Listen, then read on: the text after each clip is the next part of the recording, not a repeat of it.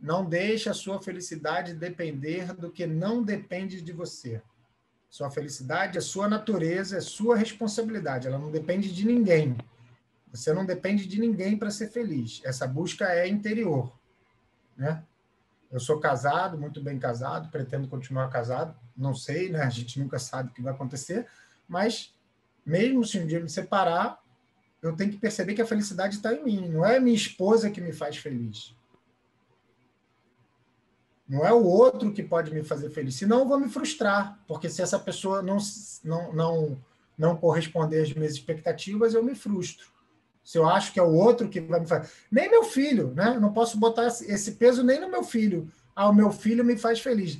Um dia, né, ele já está virando adolescente, vai começar a não querer obedecer, a não querer fazer, a querer discutir, a querer brigar. Você pede para fazer isso, você faz aquilo. Ele está com 11 anos, mas já começa aquela fase de pré-adolescência, né?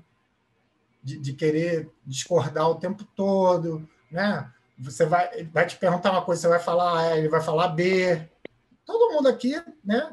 Já foi adolescente, quase todo mundo aqui lida, já teve filho, já lida com adolescente, né?